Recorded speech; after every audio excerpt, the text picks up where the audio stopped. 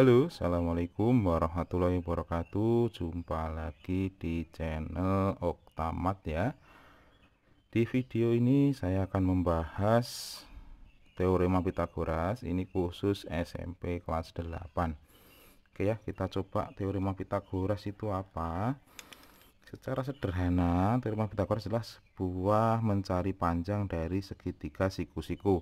Di sini misalkan yang bawah adalah X yang atas atau yang samping ini adalah Y ini adalah R. Maka teorema Pitagoras itu adalah R kuadrat sama dengan X kuadrat ditambah Y kuadrat. Atau kalau R saja berarti akar dari X kuadrat ditambah Y kuadrat. Itu yang pertama kalau kita mencari nilai yang miring.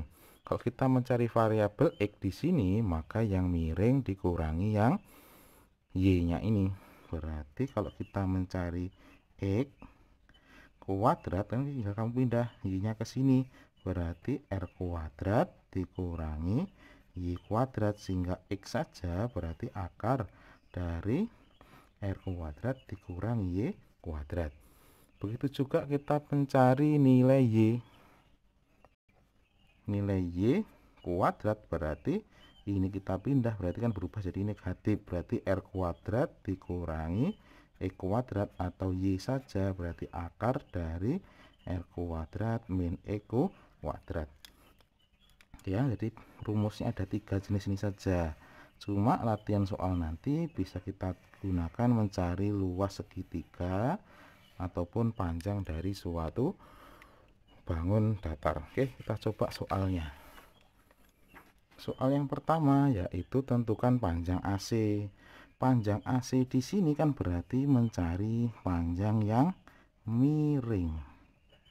Oke kalau kita mencari panjang yang miring berarti kan tinggal kita jumlah yang bawah.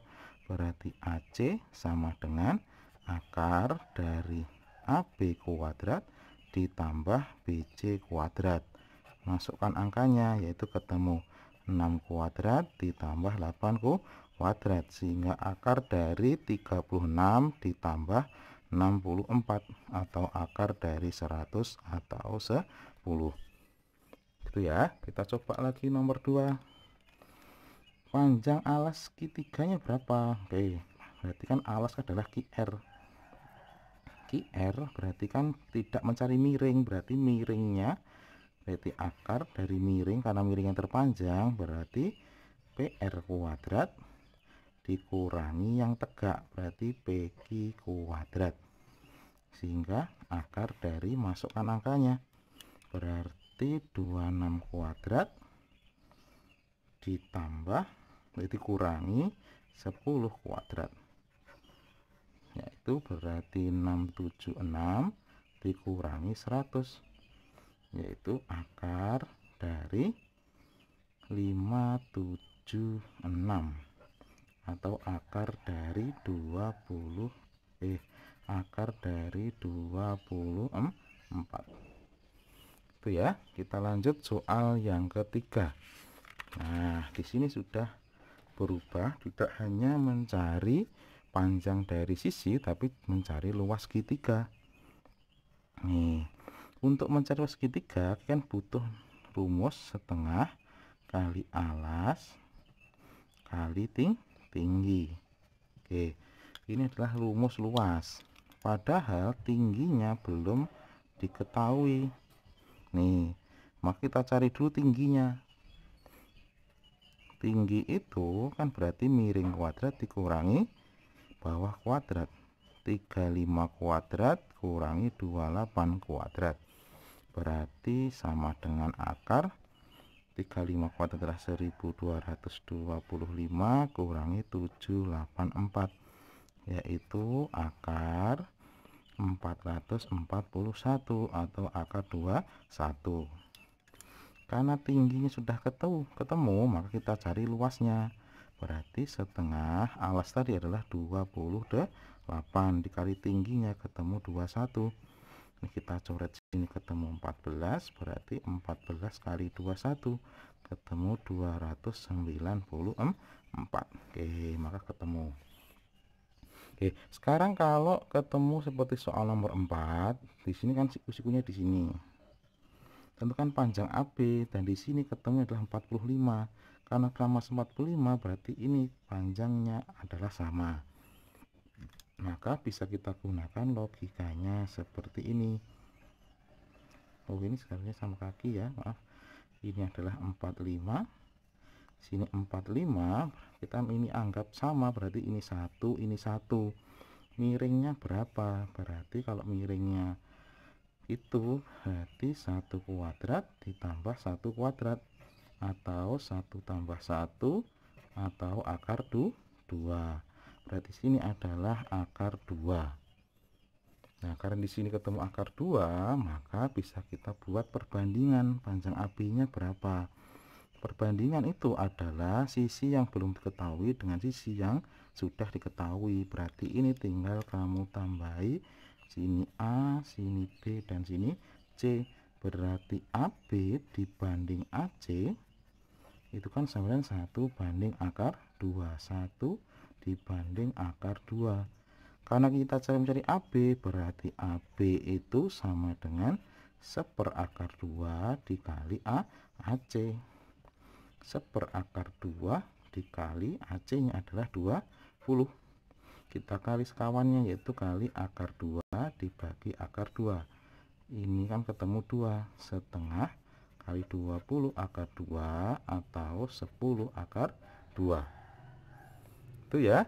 Yuk kita coba perbandingan yang lain atau soal yang berikutnya. Nah di sini diketahui bahwa nilainya dari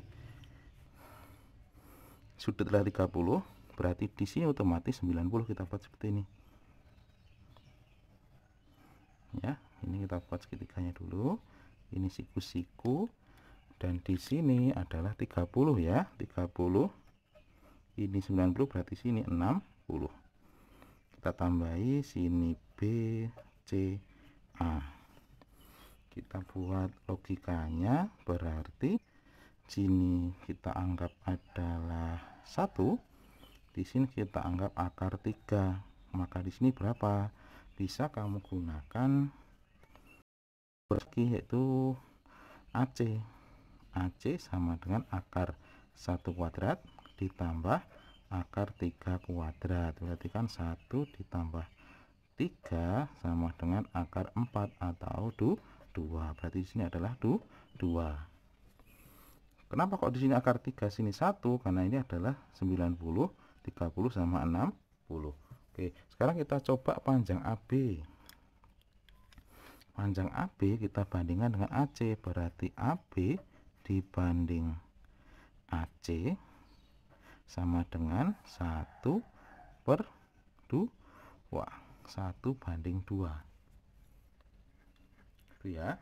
Sehingga tinggal kita masukkan berarti AB itu adalah setengah dari AC setengah dari AC nya adalah 12 akar 3 6 akar 3 Oke kita lanjut panjang BC berarti BC kita hubungkan dengan yang sudah ada yaitu AC lagi sama dengan BC adalah akar 3 AC nya adalah 2 BC nya berarti akar 3 dibagi 2 kali AC akar 3 per 2 AC nya tadi adalah 12 akar 3 kita kali atau kita coret dulu sini ketemu 6 akar 3 akar 3 adalah 3 sehingga ketemu 18 Oke kita lanjut soal nomor 6 tentukan panjang AD berapa? Panjang AD di sini berarti kita cari dulu nilai dari AC kita cari AC dulu.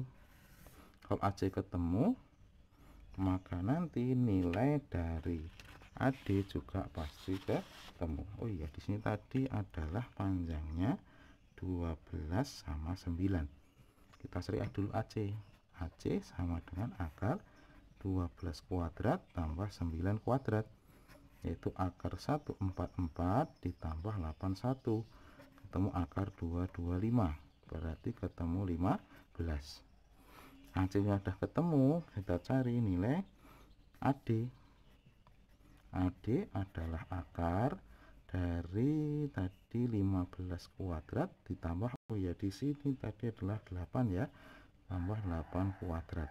Berarti akar 225 ditambah 64 atau akar dari 289 atau akar dari 17 oke ya kita coba soal yang terakhir yaitu sebagai berikut. Jika AB sama BC nah ini sama. Kemudian CD sama dengan AD oke tentukan panjang AC nya berapa? C. Lah di sini kan prinsipnya ini adalah segitiga siku-siku maka kita buat segitiganya di luar sini ya. Nah ini dulu. Nah ini adalah siku-siku. Kita anggap sini adalah B D dan A. Oke. Untuk mencari garisnya ini kita anggap saja O. A ke O nya berapa? Otomatis ini adalah tegak lu lurus. Kita gunakan luas segitiga. Luas segitiga segitiga ADB itu kan sama juga dengan luas segitiga BDA nah kita masukkan panjangnya. Berarti kan rumus luas segitiga adalah setengah kali alas kali tinggi. Ini juga sama setengah kali alas kali tinggi. Cuma ini kan tingginya ini anggap aja tinggi saat tinggi kedua ini kita tinggi dua tinggi pertama ada yang ini. Ini tinggi pertama berarti kan karena sama-sama setengah kita coret. Berarti A nya alasnya di sini AD AD nya tadi adalah 6 sini adalah 8 berarti 6 kali 8 sama dengan alasnya di sini BD BD nya apa? Kita cari pakai Pitagoras. Berarti 8 kuadrat ditambah 6 kuadrat yaitu 64 ditambah 36 akar 100 yaitu 10 berarti 10 kali T2 T2 berarti 6 kali 8 dibagi 10 T2 berarti 6 kali 8 adalah 48 dibagi 10 ketemu 4,8 oke 4,8 di sini. OA AC adalah 2 kali OA berarti 2 kali 4,8 atau 9,6 Oke kalau belum paham ulangi lagi video ini sampai paham ya. Semoga bermanfaat. Jangan lupa kalau ada koreksi atau pertanyaan silahkan tulis di komen. Assalamualaikum warahmatullahi wabarakatuh